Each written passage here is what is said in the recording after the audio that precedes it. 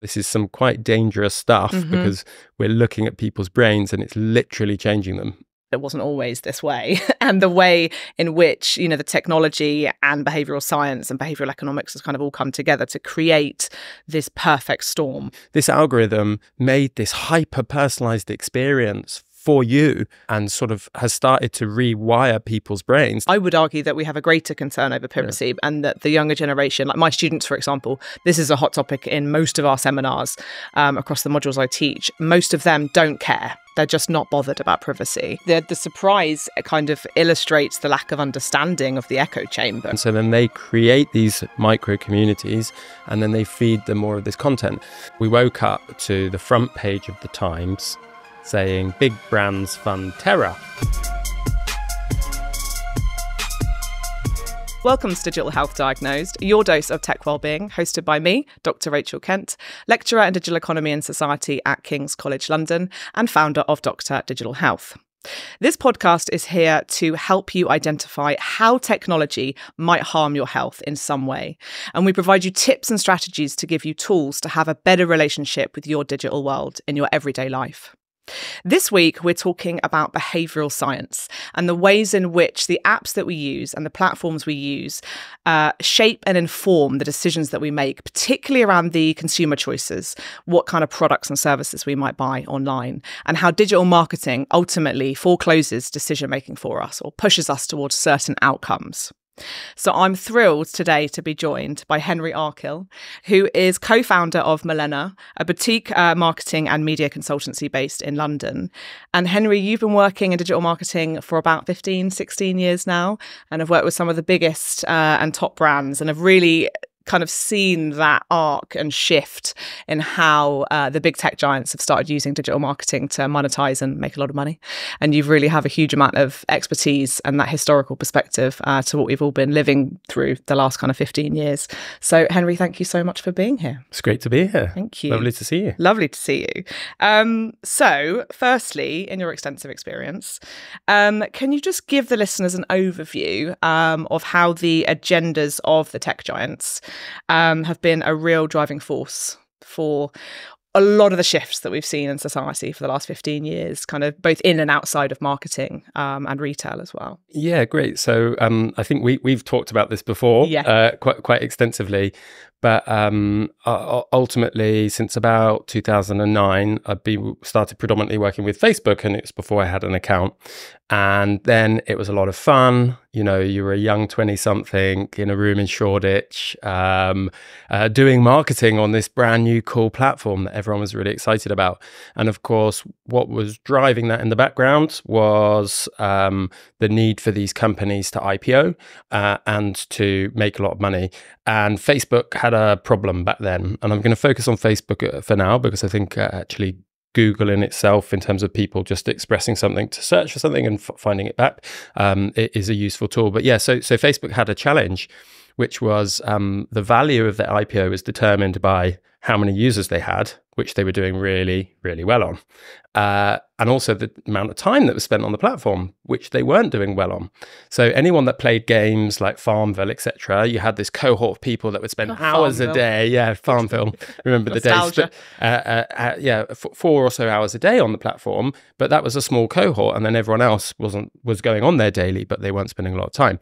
So then um, Facebook decided or developed the news feed. So before the news feed, there was essentially everyone's content that you had um, were friends with, or the pages you subscribed to would just come in a feed, and then they started filtering that out. And at the time, there was uproar amongst users, and it was in the press. Oh God, this is horrific. How are you filtering out? How are you having this control over this? This is my Facebook. This is my personalized experience. And quickly the time started to go up. And then quickly Facebook started to tweak it. And then a couple of years later, uh, Twitter followed suit. And then they started filtering out the tweets and started to personalize these, the, the, the, these platforms. And so I think ultimately the, the, the, the biggest shift we saw was the rise of the algorithm, which people often sort of, you can just type it in and there's loads of conspiracy theories or the latest news on how it works. And so this algorithm made this hyper personalized experience for you and um, and sort of has started to rewire people's brains. Now, commercially, for me, as somebody who's working with brands to try and shift behavior, fucking gold. uh, I'm there laughing, going, okay, great. You can put a TV advert on, and you know that's great. People become aware of something. But if I put the same amount of money on uh, Facebook or on Twitter, wow, I can actually change behavior.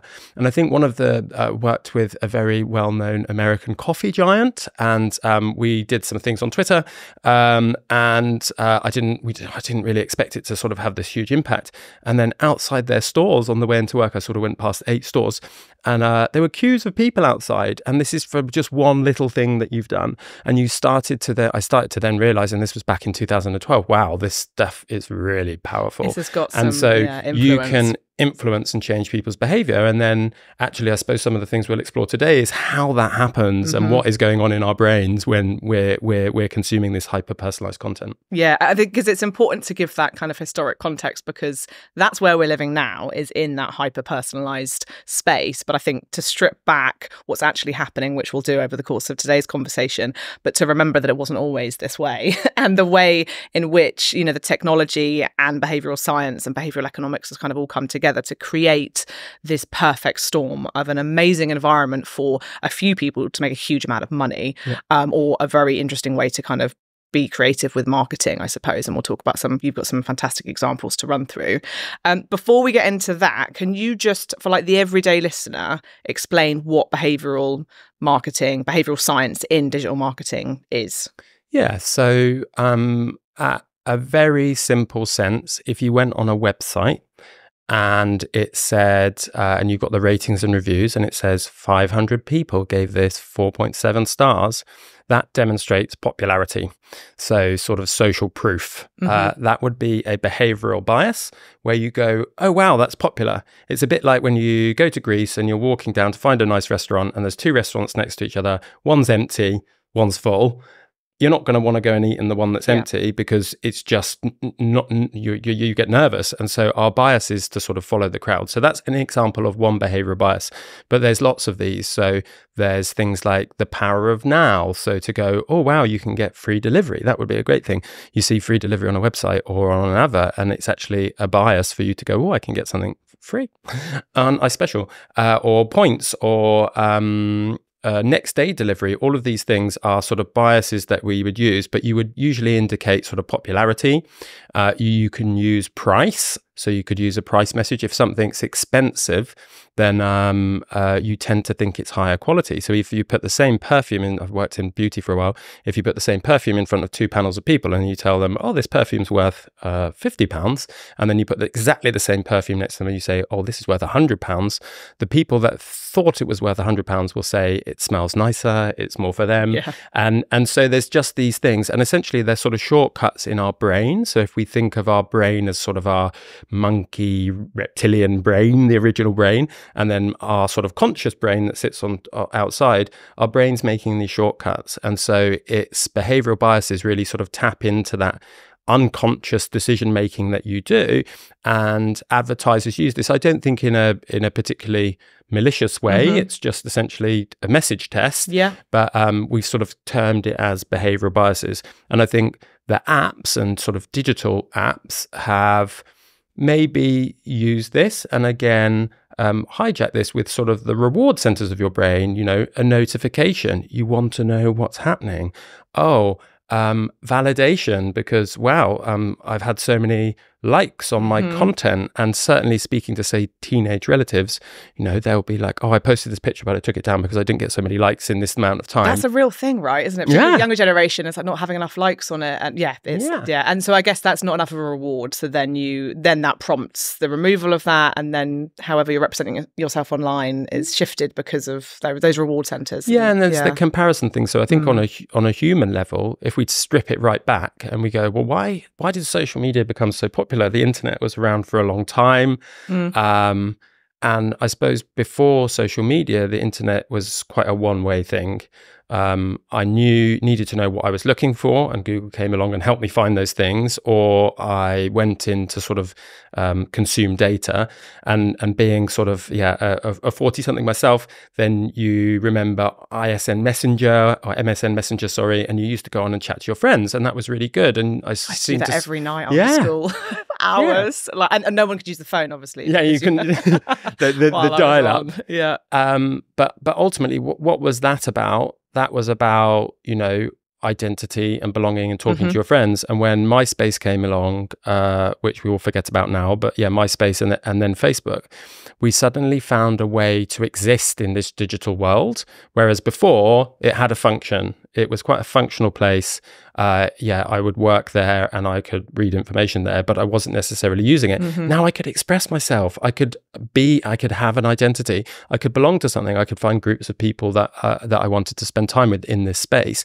And then, and then as a result, we've seen that sort of rocket up mm-hmm. in terms of the time spent on the internet, and the yeah. stats are scary. Yeah. Do you have any stats?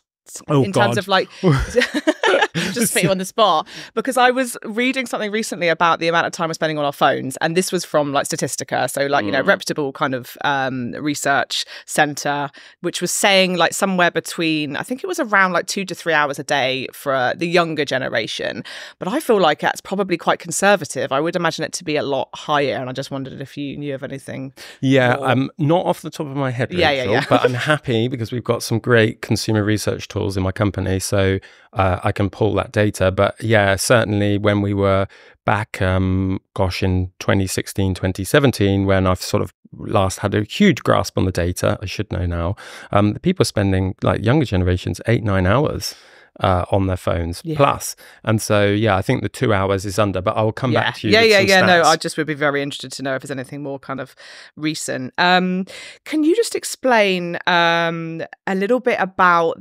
So you've kind of given a little bit of an overview on like behavioral economics and behavioral biases and how the monetization process is entwined in that, because I think it's such an interesting thing when we think back to how, say, Instagram or uh, Facebook was pre the advertising kind of getting involved in the platform and obviously changing the algorithm and the personalization. Um, and I think one of the things that I, um, in my work, uh, like to focus on, and also with my students as well, is to chat with particularly the younger generation to recognize well, can they discern what is something that's kind of paid for, as in somebody that is being promoting a product or service via Instagram, for example, versus somebody that's not. And their kind of inability to do so, I think, is that I find very ethically dubious. Mm. Um, but it would be really interesting to hear from you a little bit about how the monetization process works, particularly in digital marketing.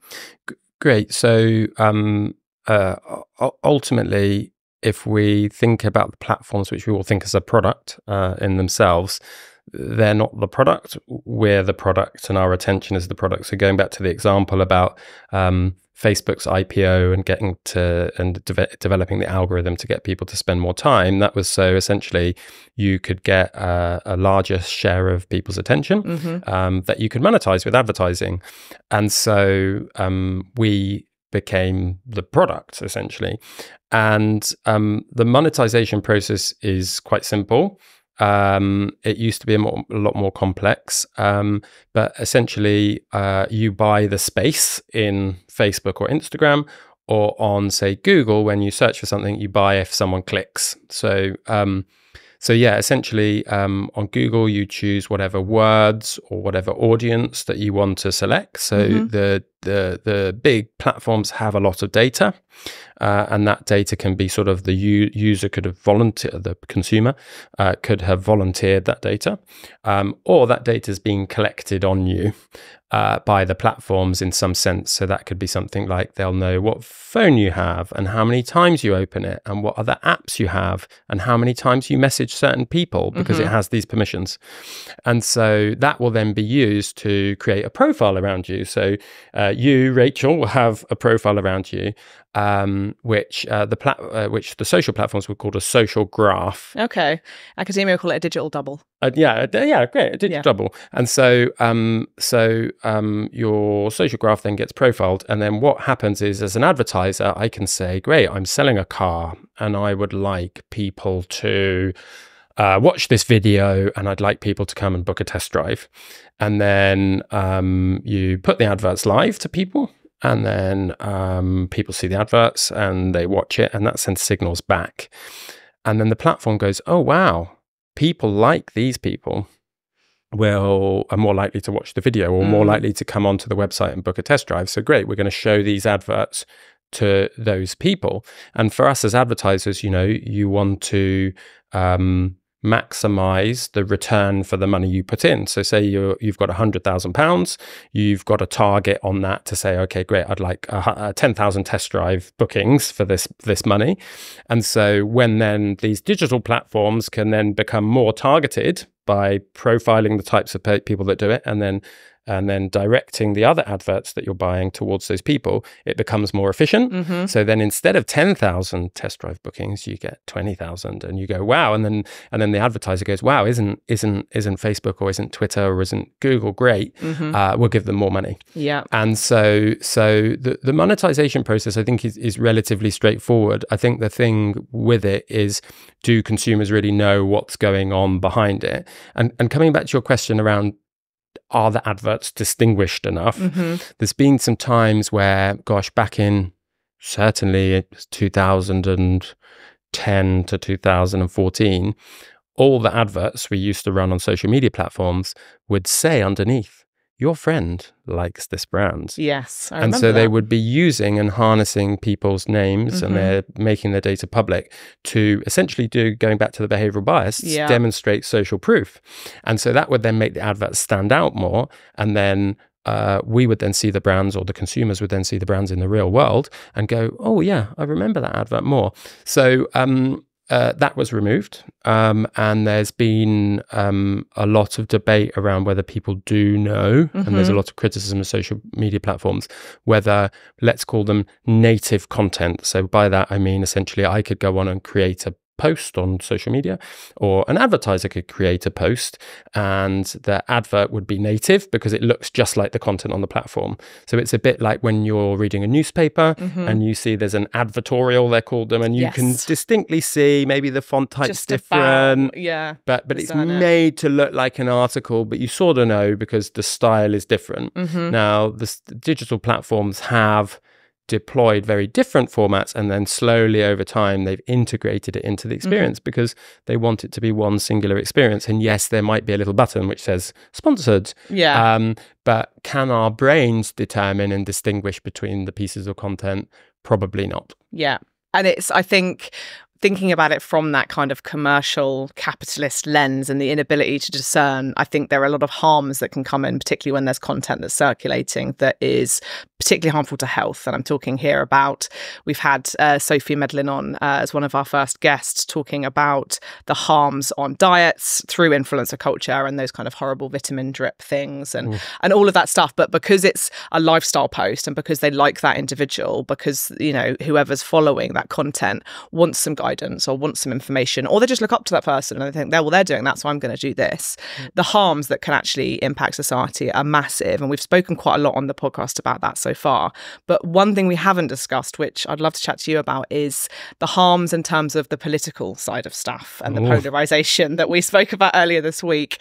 Because um, Henry kindly came on to my module at King's um, and did a, a guest lecture for my students, which was amazing and gave some really interesting insights into the data capture side of stuff, the profiling, and we spoke a bit about Cambridge Analytica and Brexit and Trump. And could you just provide a little brief kind of insight from your expertise on what happened there on that side? Oh gosh, um, if you're allowed.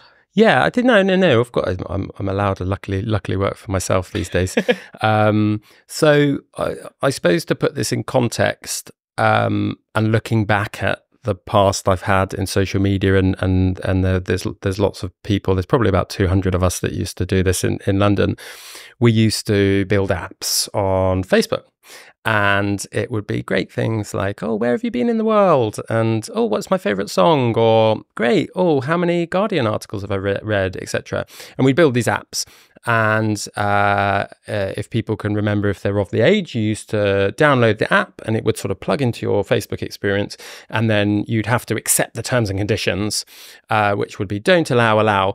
And they, those permissions would be I'm going to give you access to my name, my address, my birthday. I'm going to give you permission to email me. This was before the um, the data privacy law GDPR came along, where there was a lot a lot more restrictions on, on, on email. But you could also just hand over all your friends' data as well. Yeah. So anything then, any friend that had then connected with you, you could just say, yeah, yeah, um, give give everything.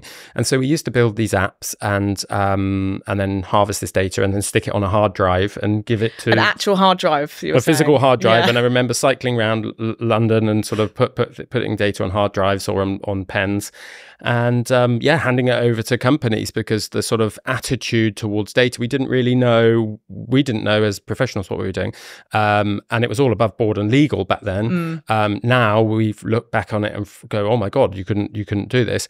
But I suppose the data was flowing around. So there's, there's, there's, there's lots of data from these apps. And um, I think actually sort of the, the brands and the, advertisers which were doing it were doing it with sort of um, yeah w- without a malicious intent. Mm-hmm. they were doing it to find out more insights about their customers or to discover who else who would like to engage with their brand. But there were lots of people that were building apps which maybe weren't so uh, so, so, so, so good and lots of companies then selling that data which is i think how we then landed on say cambridge analytica having a huge profile of people's data. Um, and most of it, the data was benign. I remember working with a sort of very posh supermarket and showing them some of the sort of the data things. And I was in this big room in front of a sort of very well-to-do marketing director, and we were going, "Great, look, uh, social media is so brilliant. We can find out people who like your supermarket also like." And then the first thing was wanking to songs of praise.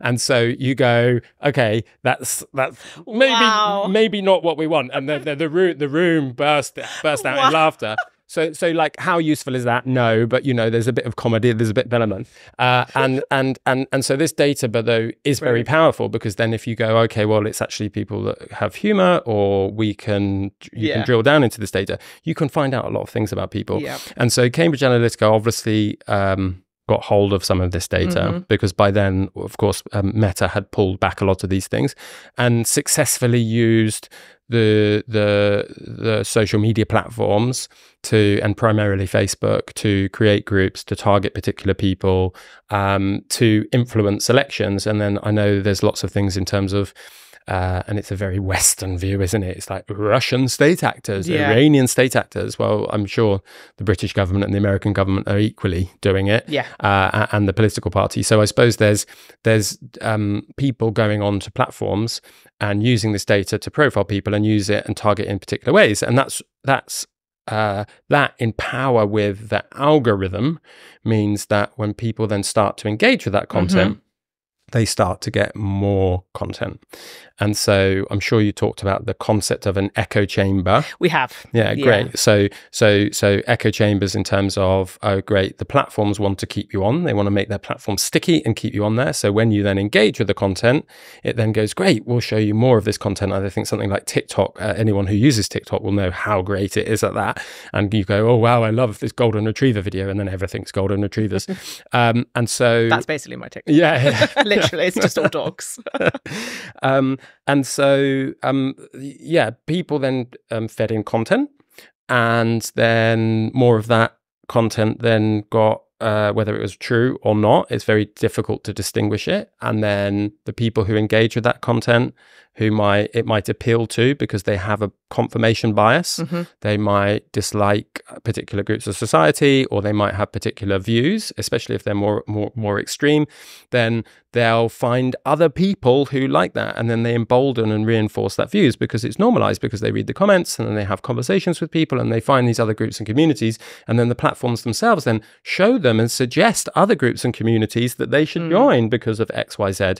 And so I think uh, back in yeah, 2016 when we sort of slept walked into as a Londoner, you know, waking up and slept walked into in, into into Brexit, whatever mm. your political views. I think a lot of people were very surprised. Yeah, I, I, th- I think the, the surprise uh, kind of illustrates the lack of understanding of the echo chamber in terms mm. of like, oh well, we thought everybody wanted to sit within whatever whatever perspective you were taking. I think a lot of people were surprised. I think that kind of reinforces the belief that is being fed back to you in your echo chamber and your or your filter bubble or however you want to mm. kind of conceptualize it. Um, but obviously, yeah, we kind of woke up and the opposite had happened for a lot of us. And Yeah. I think I actually I was actually at Glastonbury Mm. and I cried. Oh.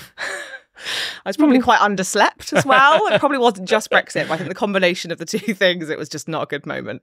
Um, yeah, and I think, but the inability, and I think what's really helpful is for you to actually unpack all of that and explain a little bit how it all works, because I think there is still perhaps not a general kind of understanding on exactly how echo chambers operate. And with the increasing political polarization we're seeing around the world and in Europe in particular, I think it's important for Yeah.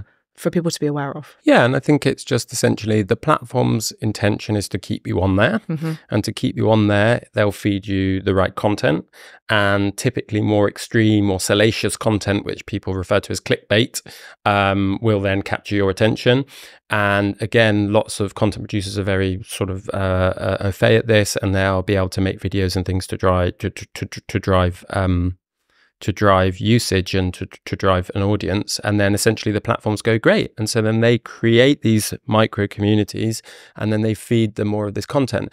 So then you say, well, does there need to be some flag? Because ultimately, on the platform, things are flagged. So if there's some content which maybe um, is is quite horrific, you'll sometimes see this is sensitive content, and they will show them.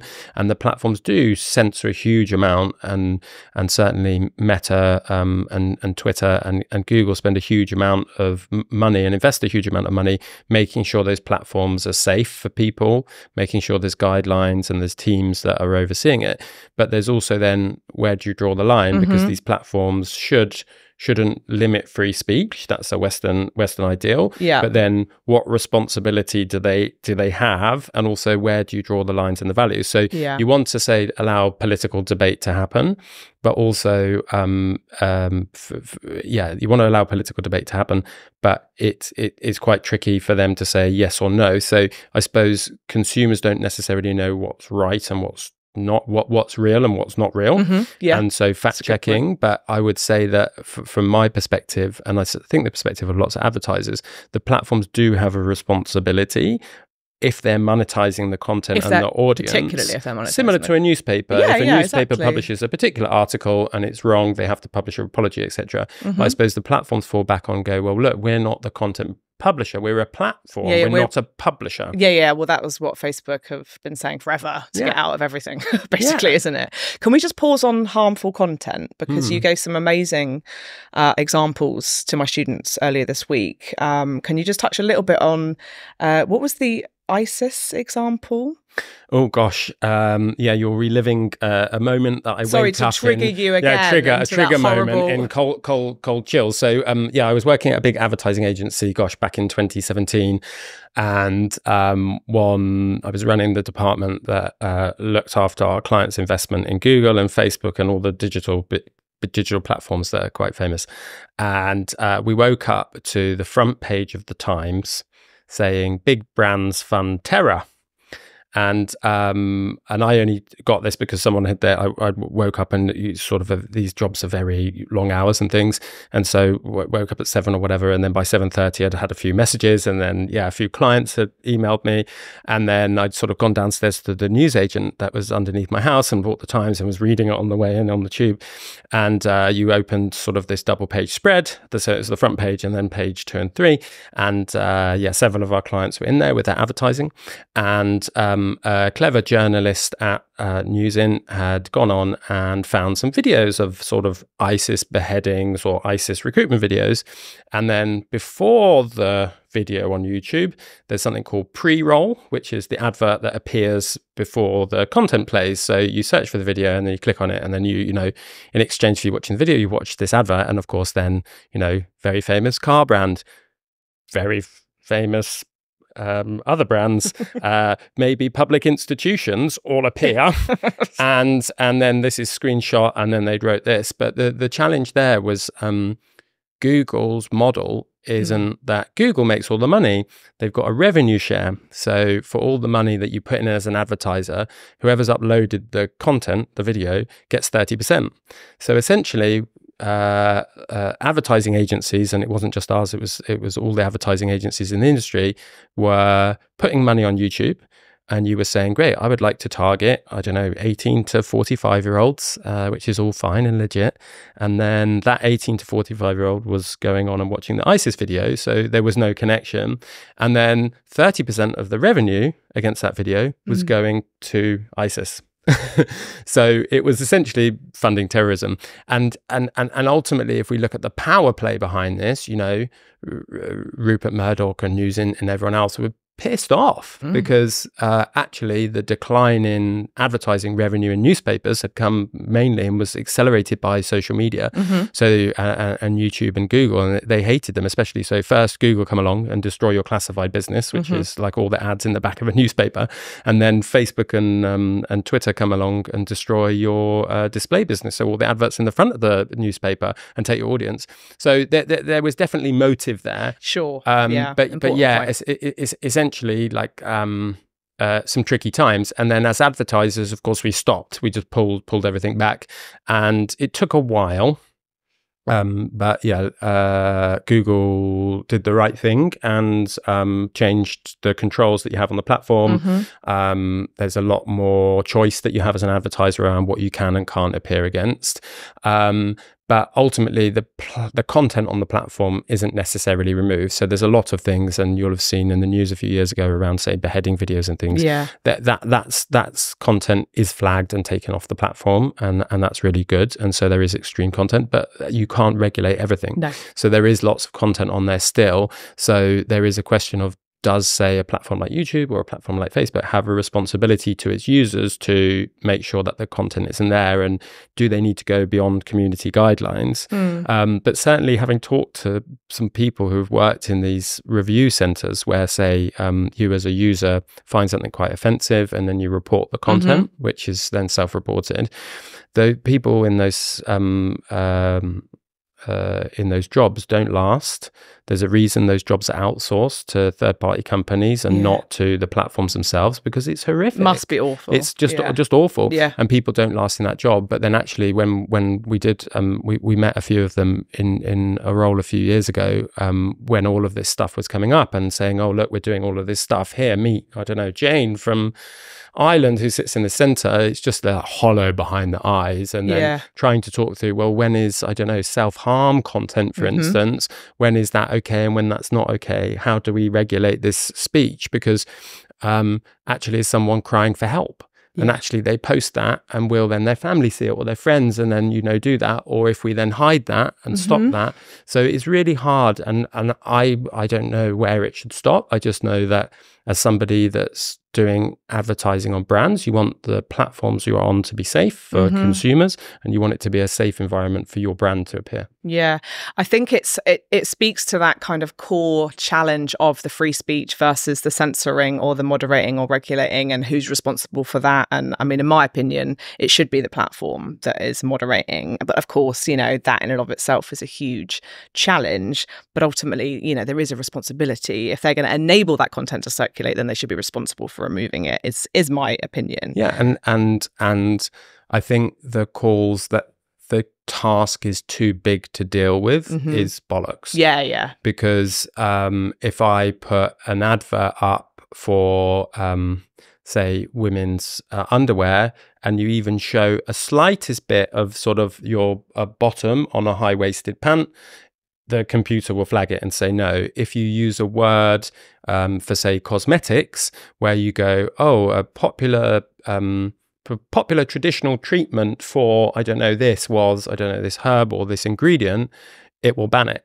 So the computers, the, and you can appeal and you can do everything else, but the um, the the sort of um, the AI that's controlling this or the machine learning that can go through can filter hundreds of 1000000s mm-hmm. of adverts, and it can go through. So there is also a bit there where maybe there's a point of verification, and um, then a user needs to user needs to say no, look, this meets my community guidelines. But I think the difficulty there is whilst we don't have an identity It's, it can't be the platforms by themselves. And I can't believe I'm saying this. This is the most illiberal thing I've ever said. but but like we we probably need to think of putting some responsibility onto the users and what they say. And I think actually, if there was a way to tie someone's identity, or you know, someone had to Do you mean take the user that's generating the harmful Yeah, content? yeah, or- exactly. Or, whatever content so it is. so I'm not saying we should all put our driving license into into into Facebook and Google, but there needs to be something which where users can take responsibility for some of the harmful content and actually some of the ills of the internet, especially when it's to do with health and you know uh, trolling, uh, Mm. and you see all of this all, for all this news th- this week around all the MPs and that what's being mobilised against them. yeah, Um, would people behave like that if it could be tied back to them? yeah, yeah, yeah. Uh, I'm not sure they would. So there, there is something in me which is like, yes, the platforms can go so far, but there's also maybe uh, holding a mirror up to ourselves and Mhm. thinking, is this acceptable behavior, or are we happy as a society to have people behave like this on the internet? And Yeah. this this level of anonymity is maybe not always positive. So I, I, I wouldn't say the blame is all on the platforms. I'd say the platforms can do a lot more, but I still think yeah, us as individuals or society need to also have a think about what we want the internet to be yeah. and how we do that. But then, I, I do agree with that, but then I guess I also come back to this kind of ideology that we had um, Dr. Sula Windgassen on, the health psychologist, talking about this idea around, you know, if we see a lot of negative or harmful content, it fosters uh, what do you call it? It was mean world syndrome or something like that. And so, you know, I would say yes. On the one hand, I do think we need to have some agency ourselves, but on the flip side, if you throw in the behavioral economics and the way the platform is pulling us in, and and then promoting and making certain content that's very clickbaity visible. We know what is the stuff that goes viral is the shocking stuff, for better or worse. And then you have a load of users or individuals who are living through a mental health crisis and, you know, another recession apparently and whatever.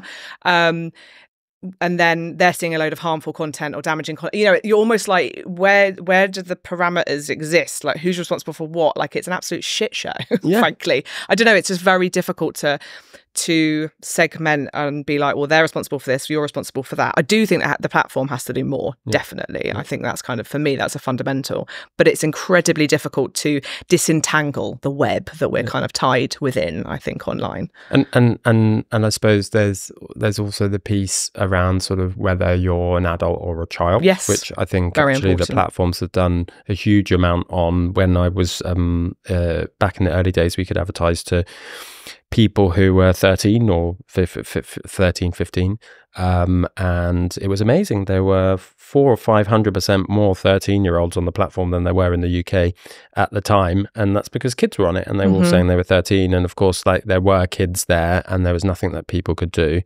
nothing that the platforms can do and you see it now you know um, young relatives have have tiktok on their phones and and that exposes and opens them up to a world. But I think actually the platforms now, it's uh, most of them you can't advertise to people who are under 16, Mhm. which is great. Um, so they're not seeing adverts and they just have the platforms with the content themselves. Mm. So it, commercially, it's not there. But then the types of content that's on there, you know, it's a nursery for addiction because Yeah. you're suddenly on there. And again, you've got this new sense of freedom in this whole new world and aspect of your life. And you, you know, you're discovering yourself and discovering who you are and who your friends are.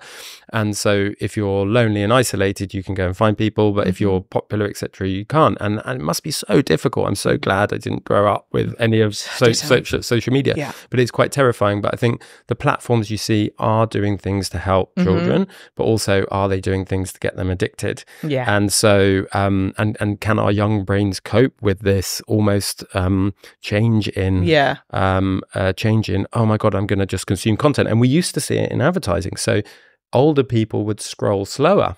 So we were like, why? Why are older people really engaging with our the viewability of our ads? so how much? And we were going great to advertisers. Oh, great! You know, like we, we- this is brilliant. But actually, you look at it and then you segmented it by cohort, and it's just because younger people are flicking through the content Because they want those dopamine yeah and their brain maybe can process faster etc Sure. but, but like you like the quantitatively you could see that and um and so yeah uh, now young people will just go Can we just touch on the uh, the neuroscience of that? Because again, you we've discussed this before. You mentioned about the differences between uh, digital media and non-digital, or, or like you know more traditional media and Mm. new media in terms of how the neuroscience literature around that and the kind of insights into behavioural science. Could you just share a little bit on that because it's really interesting. Yeah. Um, so so if if you think about advertising, you're trying to capture someone's attention, and that's going to, of course, be through the creative. So if you uh, uh, you might use a celebrity, or you might use comedy, or you use something. So the creative is everything. And a really good advert. I was lucky enough to work uh, with John Lewis for years, and you know, in the height of all their famous Christmas ads, and it was something that people loved. And you're making something that's really positive for the world. So I don't think advertising is necessarily um, all negative. Um, but um, essentially, uh, when you're an advertiser, you want to capture people's attention. So you sort of want to create something we call brand salience. So it's ultimately like, oh, I have a perception of this brand. So I'm aware of that brand because if you're not, and then you walk into a supermarket or you're online and you see it somewhere else, you're not going to pay attention to it mm. because you don't know what it is. So you sort of introduce the brand and get people to become aware of it. And then you want it to mean something to them. And so you can do that through emotional advertising or you can mm-hmm. do that through rational advertising, like, oh, there's a discount. You know, my double cheeseburger is only one ninety nine this weekend. And so there's a mix of these emotional and rational messages.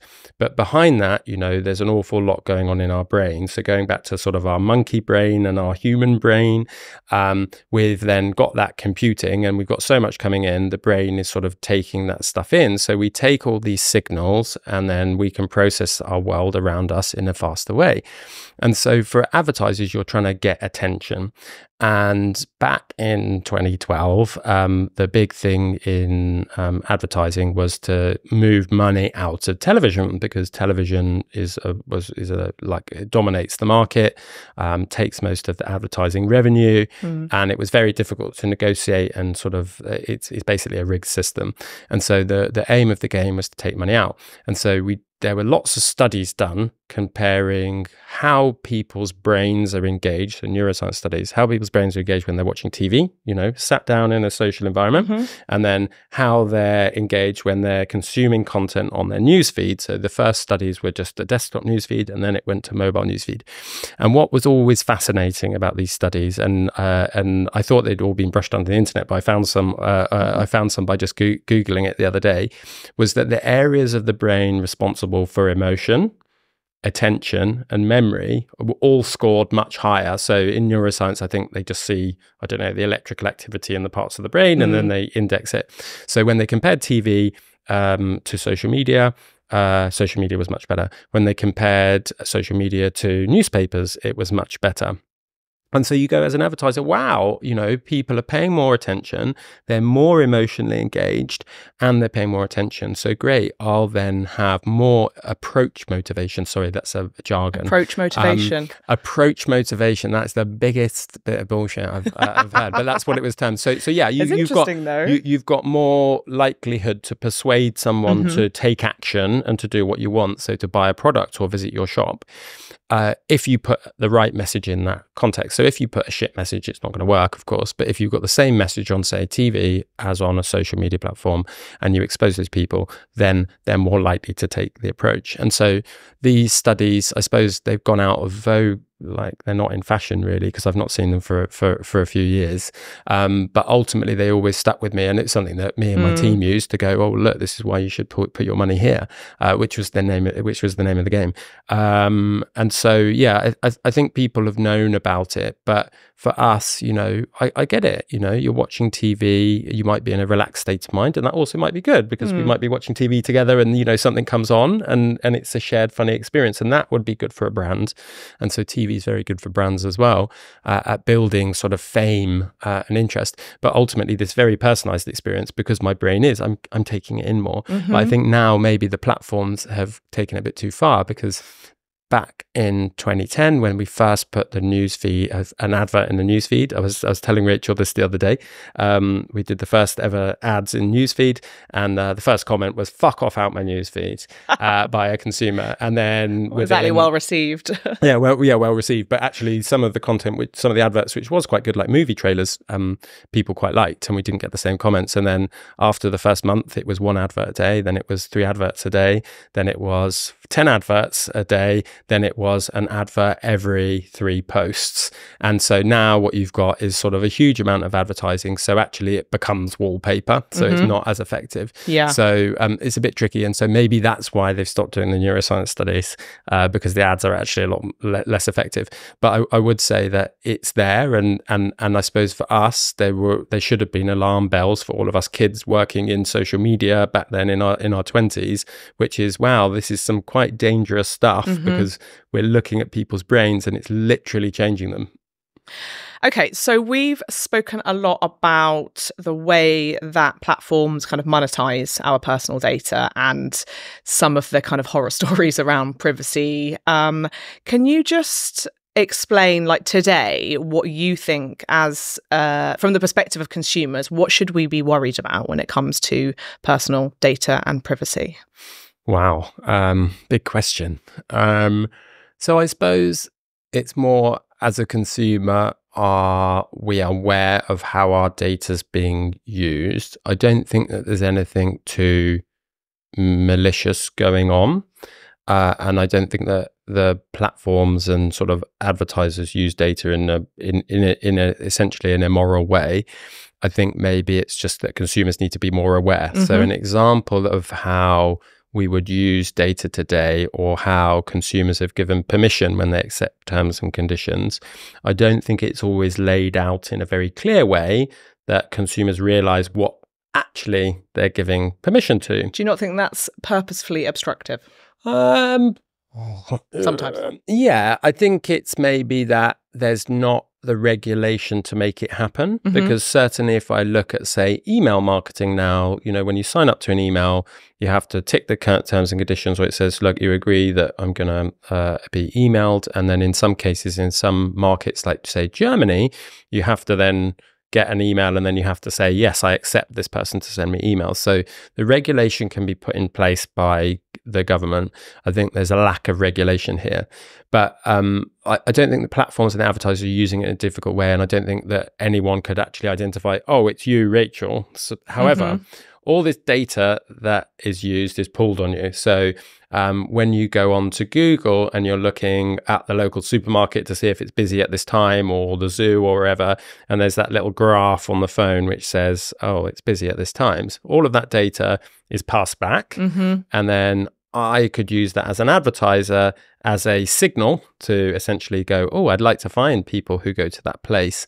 And so, do consumers really know that the phone in their pocket, which is really useful, and you want to see it's busy and you want to see the opening times, do they really know that, you know, the, the Google Maps app on that is passing back data to Google? And yes, no one can ever tie it back to you, but it's sort of grouped and mm-hmm. pulled together. And then, equally, you know, things like when you go on a website and that annoying thing comes up, the cookie banner, and it's like, do you accept the cookies? And you're like, ah, yeah, I don't care. That essentially puts a bit of code uh, on your device and then it monitors what you do and it passes it back. So, for instance, if you're working with a retail company, it might tell you, oh, great, yes, this person saw the advert and then they came to buy something. And that's relatively benign. I can never tie it back to a particular person. But where it then starts to get a little bit, I don't know, may, maybe a bit dubious is when you've given a company your email or when you go into a shop and they say, "Oh, would you like an e-receipt?" And, you know, it's convenient, you know, or you might get ten percent off your next order or something. Uh, so you give your email address. Um, that data is passed back, and I don't think then when you're in with the shop assistant in in whatever the, store is buying you're, you're, buying something i don't think it's explicit there which is we're going to share this we're going to share your email with Google and Facebook and TikTok, etc. And then they're going to be able to use that to, you know, what, know that maybe you'd seen these adverts in the last few days and that you know it's resulted in a purchase so for advertisers it's really good for us Mm-hmm. because we can then say oh this advert this message was more effective than this message which is great but actually do consumers know is it explicit that they know no and there are very few use cases and i think it is actually quite simple to explain Yeah. which is Well, like, you explain know- it brilliantly, but I don't think that any terms and conditions. I guess when I say purposefully obstructive, that's what I, I mean is in Mm. terms of the language, the layout, the design, like the whole way it's constructed. You're just like, yeah, whatever, yeah you know. And it's and who's going to take the time? And even if you did take the time, would you even understand it? Probably not, because I feel like the language is purposefully kind of makes it difficult to understand. Yeah. And I think that is, I find that very problematic because I think that is, uh, yeah, not okay. Yeah, it's not okay. It, yeah, I, I, I th- I think it's not okay. And I suppose it would be lovely to see regulation happen as it has in California and it has it happened in, in Europe with GDPR, which does govern around how some of those pieces of data can be used. So um, that's that's very good.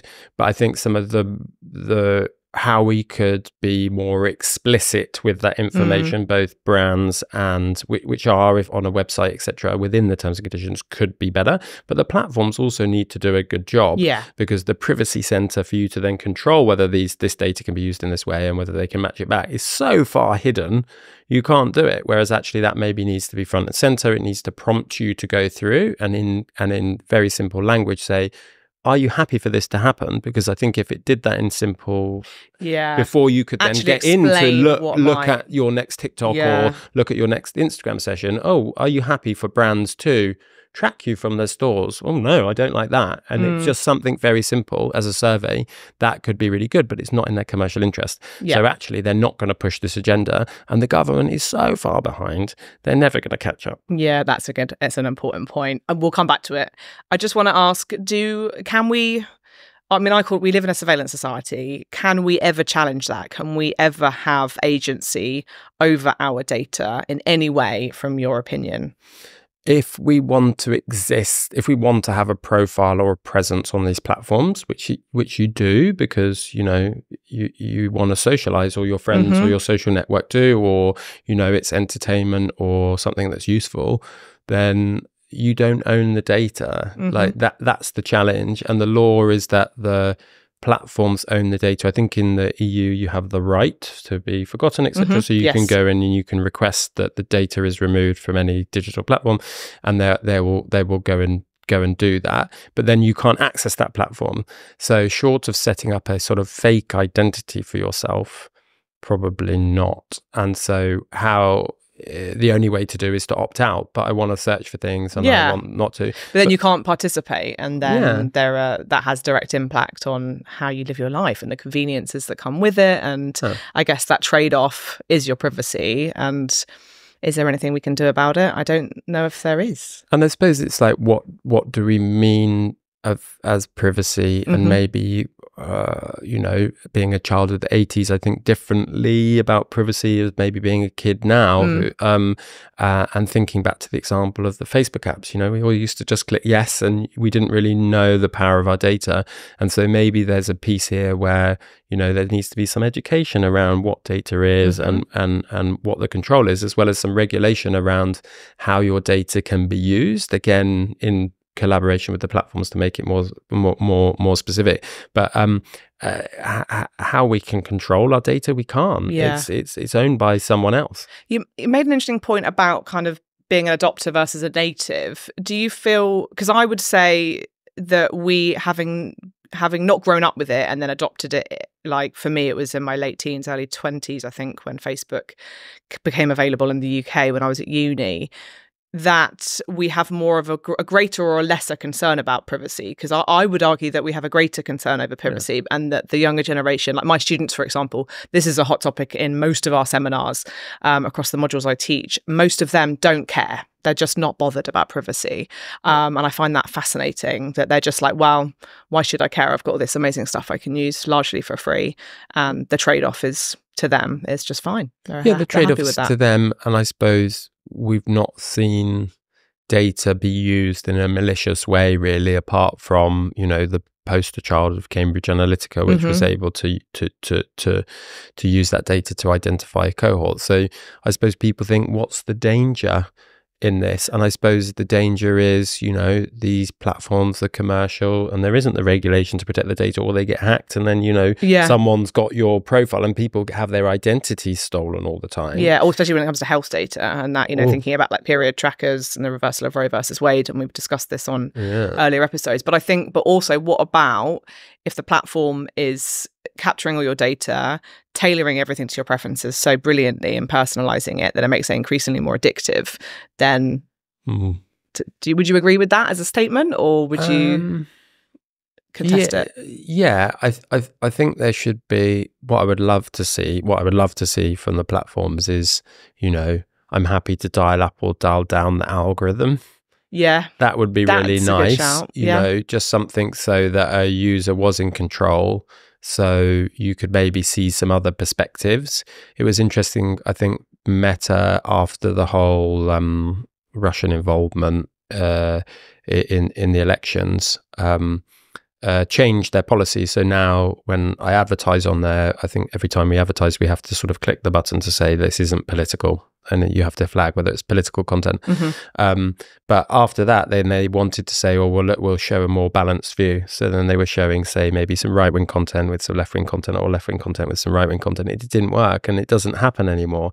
And why? Because it made the platform less sticky. yeah. So then they lost users, and so When you say uh, sticky, you mean Oh, yeah, to keep to keep the platform. So basically, someone going, "Oh, this is boring," and turning their phone off, Mhm. and that's monitored. So how many Yeah. times you pick up your phone and open the app and all of those things, and they'll look. The guys that develop the the the the the, the feeds, they are monitoring that, and that is looked at in big cohorts. And a company like Facebook will have um, ten thousand cohorts with different algorithms running, and then they'll then work out which algorithm's more sticky, and then Mhm. they'll roll those elements out to the other 10,000, the other 9,999.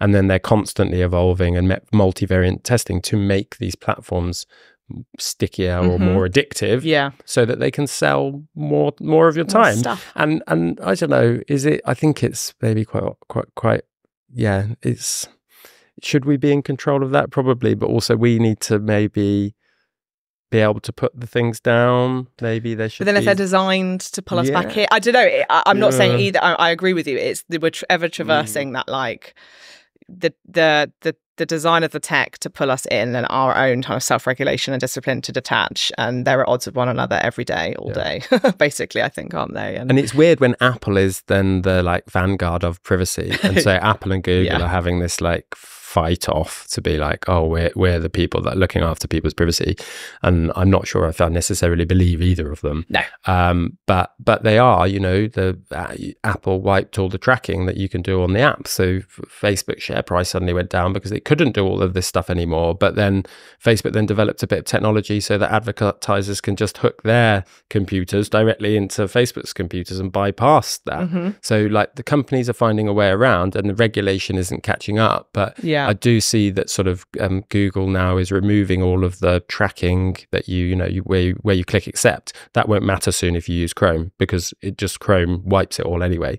So the Google is making advances into your privacy to to essentially protect our privacy. Apple have made advances into that and continue to. Mhm. So it might be a situation where, you know, these companies actually become morally enlightened, or maybe it's from self interest because they want to destroy their competitors, but, you know, morally enlightened and, and actually do come to our protection. Um, Mhm. does that then mean we're living in some anarcho capitalist society where actually the government is no longer relevant in this digital space? And so, yeah, if really, re- I, find, I find that idea really fascinating that is very interesting that actually the people that are protecting us are these two companies, not not the government. But the big but is though then they set the prices and then you have a monopolistic ecosystem. And of course, the case that I'm leading against Apple at the moment obviously speaks to some of those issues. And I think that because it, the securitization argument that Apple, you know, are very good at um, promoting, uh, I'll say it diplomatically.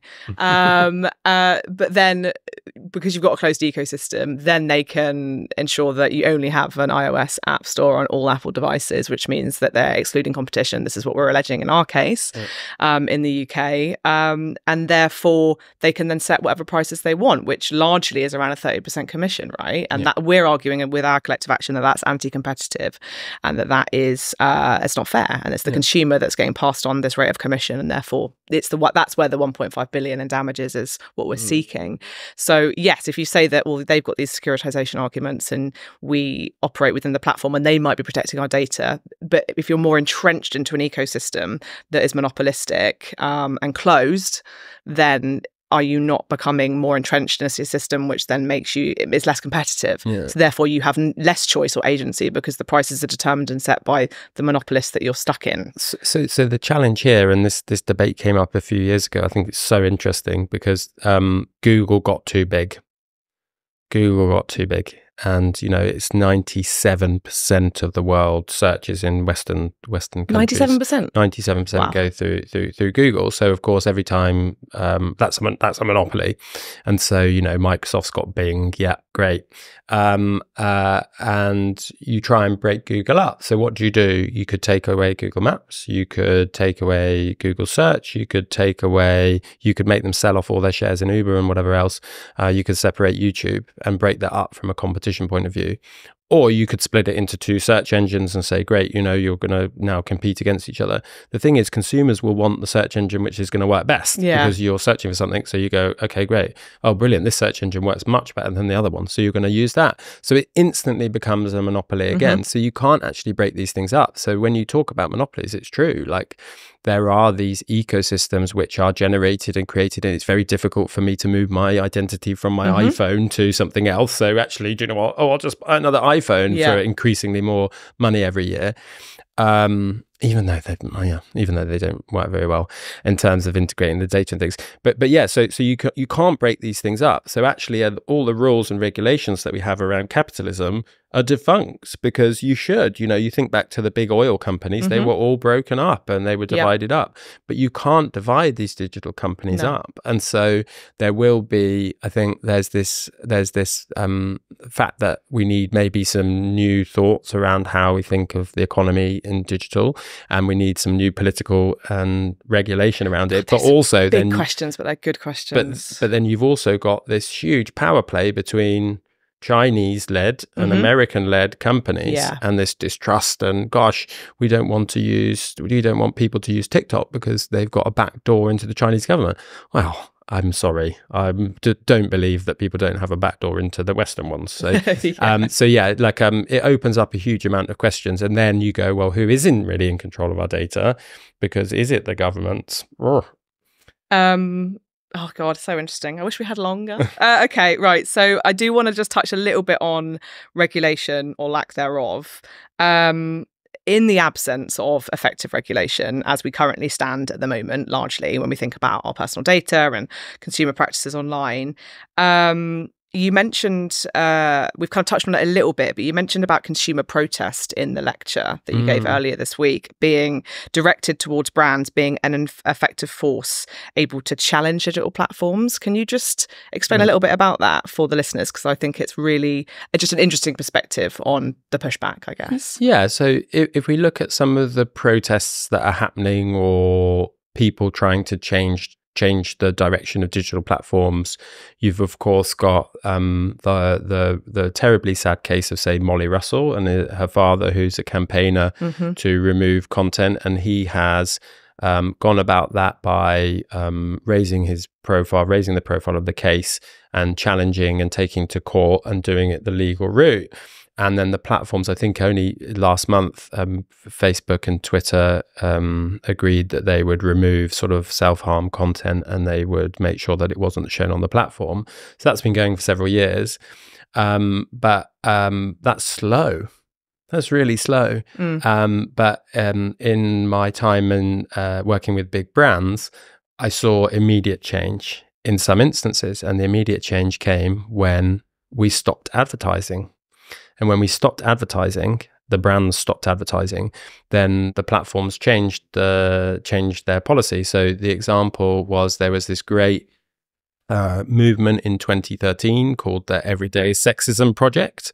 And the Everyday Sexism Project would go onto Facebook and they would go onto a particular page, which could be something horrific like punch that bitch in the face until she's black and blue or um yeah they're like a homosexual's place is dead at the bottom of the stairs so some really horrific content Toxic, and horrible. uh, horrible toxic content Yeah. And um, and then the adverts would appear on the side because of course you're targeting the person you're not targeting the content.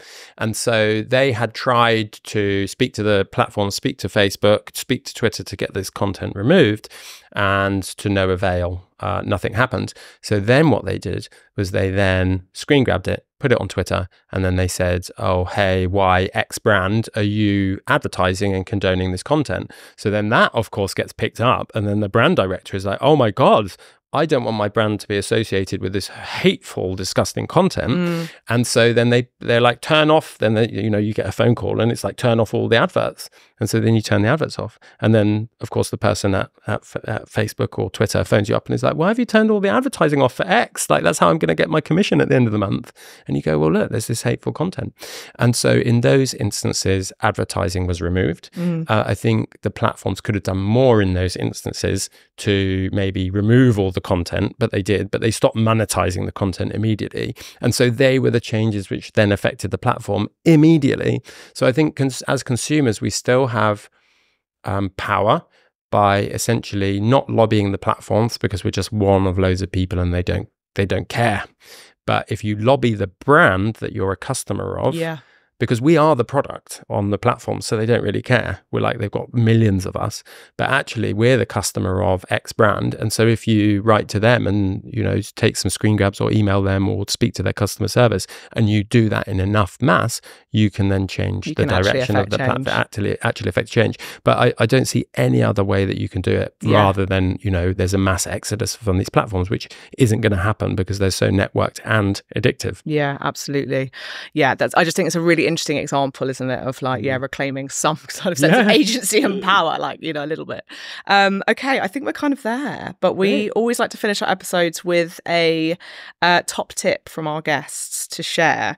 Um, and for yours, I'd love you to share just kind of one takeaway where you can share with our listeners about how we can maintain some kind of agency or think a little bit about our relationship with the marketing that we engage with uh, when we're navigating different digital tools every day. Oh wow. Um so in terms of the marketing, I think it's just being aware and looking for the signals on the platform that something is an advert and you know advertising above the like um above board advertising that you see from big brands is heavily regulated so you can't lie and you can't do certain things. I think we all know the impact of influencers and really just questioning some of the things you see on the internet about brands or people endorsing brands. Yeah, brilliant. um, and and yes, whilst whilst people should say, "Oh yes, it's an ad," or "I'm I'm associated," it's not always necessarily clear. So I think it's just questioning that, and that I'd say more just generally for our health is setting timer on your phone on these apps. Yeah. So you know, great. Um,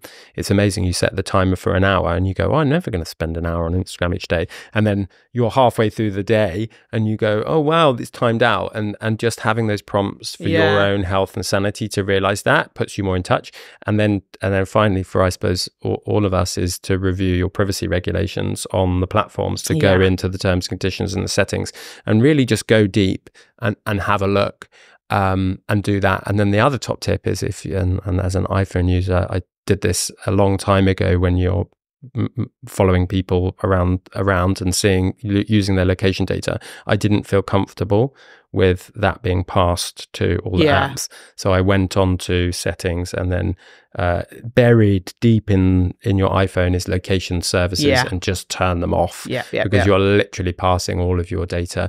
So, so I suppose from that, but yeah, a- a- advertising I think is is enjoy it because it is it is heavily regulated, but just being aware that you know your brain might be taking it in in a different way. Yeah, absolutely. That's just so useful. And I, yeah, you've kind of touched on the one thing that I was going to say, which was just just be aware of that surveillance and turn Yeah. off those location services. And I think one thing that I also say to my clients is always also just like have a little uh, digital cleanse, like delete all the Mm. apps off your phone and your devices every so often that you're not using on like a weekly basis because you just don't need them on there. It's like digital noise. It's like disrupts, you know, your, your kind of your brain. You've got it on there. You're more likely to go on the apps and services when they're kind of, you know, there and accessible. I think just turn it, delete it or turn it off. I think just to try try and maintain some kind of privacy and a kind of detachment from it. Yeah, and there'll be this new wave of technology which comes anyway over the next few years, which hopefully will free us from some of these and technology more more in with our flow and our mental flow. Mm. And I'll I will welcome the day. Yeah, that's a nice positive note to end on. Henry, thank you so much. That was just thank amazing. You. Thank you. Thank you, so thank you for listening to Digital Health Diagnosed, your dose of tech wellbeing. We're here every episode to give you tips and strategies to manage your everyday relationship with technology. Please remember to like, follow, and subscribe across all the usual channels. I'll see you next time.